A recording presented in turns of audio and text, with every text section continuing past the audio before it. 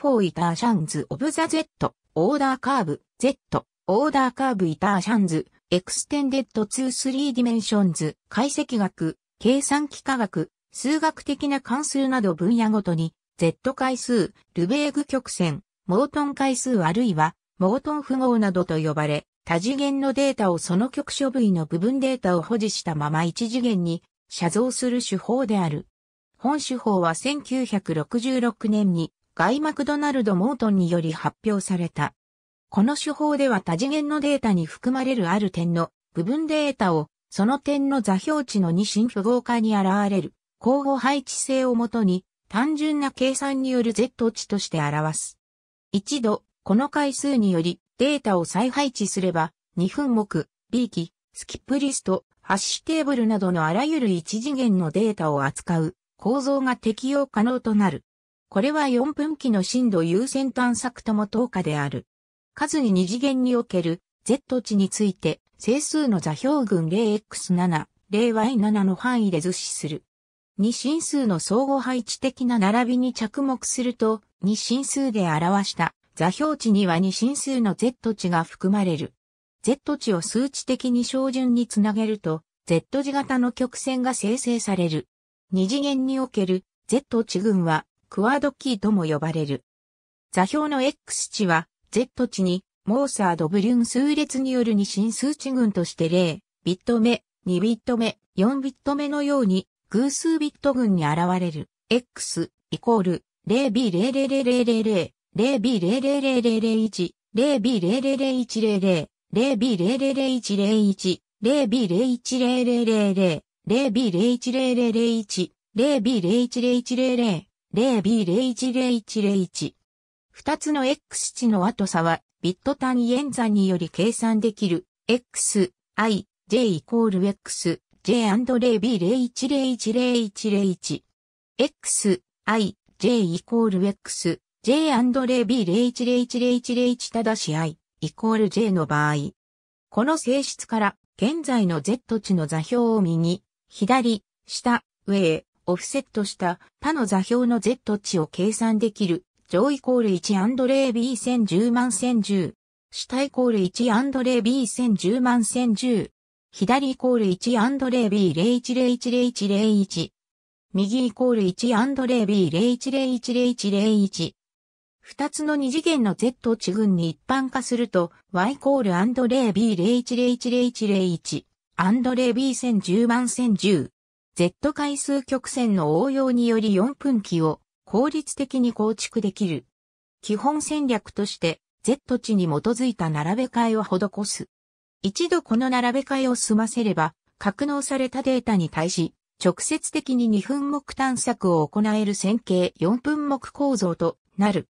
通常、入力点群は次元ごとに正の整数へ正規化し、機械語が対応するサイズとするが、範囲0、1の固定小数点表現とすることもある。いずれにせよ、最上位の非0のビットは定数時間で探索可能となる。4分期の内包する4つの正方形は、辺の長さが2のべき上で、角の座標は辺の長さの倍数となる。このうちの2点を決定すれば、その両方の点に囲まれたディライブドスクエアも決まる。なお、この手法では、X 要素と Y 要素のビット群の相互配置性は、シャッフルと呼ぶ。これらの特徴は、より高次元に対しても拡張できる。点群は、実際にビットの相互配置をせずとも、シャッフルから相と可能である。まず次元ごとに2点の最上位ビットの排他的論理和を評価し、次に最上位ビットが最大の次元でシャッフルの順位を決める。排他的論理は和2点の座標が同一の場合、最上位ビットをマスクする。シャッフルは上位から下位へとビットを相互配置するので、最大の最上位ビットを持つ座標を識別でき、異なるシャッフル順位の最初のビットも識別でき、よって2点の座標を比較できる。以下に Python のソースコードを示す。defcmp ゾアダー。j イコール0 k イコール0 x イコール0 4 k インレンジ y イコール a k ハット b k イフレス msb j イコール k x イコール y。リターン a、j から b、j。各点で、そこにの対数の余価値を比較していることが最も重要である。これは、以下と等価であり、排他的論理はしか使用しない、デフレス MSB、リターン x、y&x。不動小数点数についても、同様に比較可能である。その場合、レス MSB 関数は最初に指数部を比較するよう変更する。そして指数部が等しい場合にのみ元のレス MSB 関数を適用する。一度点群が順位により並べ替えられたなら次の二つの特性により4分岐を容易に構築可能となる第一に4分岐の正方形に含まれる点群は Z 値による並べ替えにより隣接した相互配置を構築できる特性。第2に、ある正方形に2つ以上の点が含まれているならば、それは derived square となっている特性。 derived square の隣接する点の対ごとの正方形の辺の長さは元となる最初の大きな正方形から計算できる。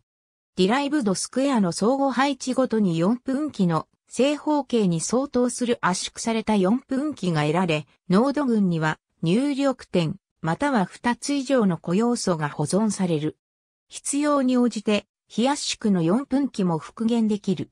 こうして、ポインターに基づいた4分岐ではなく2分岐のようなデータ構造で点群を維持できる。これにより、点の追加と削除は、大時間で可能となる。また、2つの4分岐の結合も2つの並べ替え済みとした点群から行え、重複も削除できる。点の位置の前後の操作も容易にできる。局所性を良好に保ちながら、効率的な範囲検索を行いたいようなアルゴリズムでは、データ構造内で遭遇した点から次の多次元の探索範囲にある Z 値への計算が必要である。この例では、紹介したい範囲を点で囲まれる区形で表した。このうちで最大の Z 値は、マックスは45である。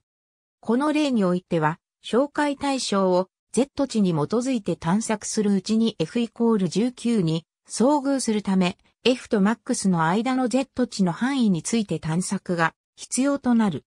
探索を高速化として、紹介したい範囲の未紹介の範囲で最小の Z 値、ビッグミンを計算し、ビッグミンとマックスの間の区間のみを探索することで、車線領域の多くを飛ばせる。もし、逆向きに探索する場合は、ビッグミンと同様に、紹介範囲内で F よりも小さな最大の Z 値リトマックスを計算する。このビッグミン問題は、トラーフとヘルツォークに提起され解決されている。この手法は、UB 機のゲッティニックスツアドレスでも用いられる。この手法は、元の一次元のデータ構造に依存せずデータを用意、かつ自由に構造化可能なため、B 機のような基地の手法を用いて、動的データへ対応できる。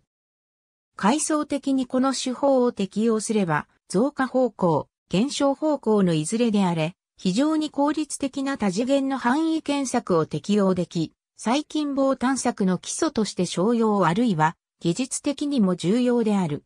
Z 回数を応用した多次元の商用データベースシステムがいくつか製品化されている。今は昔となる1966に GM モートンが地理学的データベースの静的な二次元のファイル群について Z 回数を提案した。面のデータ単位には一つまたはいくつかの二次的な Z 値に基づいた枠を含んでいた。高確率で隣接フレーム間の参照わずかな操作ステップで可能であった。代わりにヒルベルト曲線を用いれば、より優れた順序保存性を持つと提案されているが、計算が複雑となるためプロセッサーのオーバーヘッドが大きくなってしまう。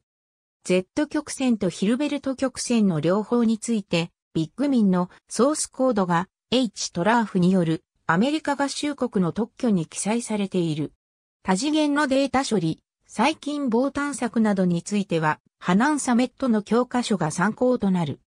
行列の乗算に用いられるシュトラス線のアルゴリズムでは、行列を4つのブロックに分割し、ブロックが単一の要素となるまで、各ブロックを再帰的に分割する手法に基づく。分割された2つのブロックを乗算するサブルーチンについては行列全体の大きさによらず、ブロックの大きさとメモリ配置についてのみ扱えばよい。バルサラームとシェンヌムによる2002年の論文で、Z 回数のシュトラス線の乗算への応用効果が実証されている。ブールーシュらにより素行列のデータ構造のの、比例の要素における行列とベクターの乗算に対する並列アルゴリズムの有効化にも応用される。いくつかの GPU では、テクスチャーマップを Z 回数により格納し、ラスタライズにおける空間の参照の局所性を向上している。これにより、線形のキャッシュメモリー上へ正方形型のタイルを表現可能となり、二次元的な近傍の情報がキャッシュ内に収まっている確率が高まる。3D レンダリングでは任意的な変形が必要とされるため重要な要素技術となっており、そのようなテクスチャー方式はスイズルテクスチャーあるいはツイードテクスチャーと呼ばれる。他のタイル化された形式についてもこの手法は同様に適用できる。ありがとうございます。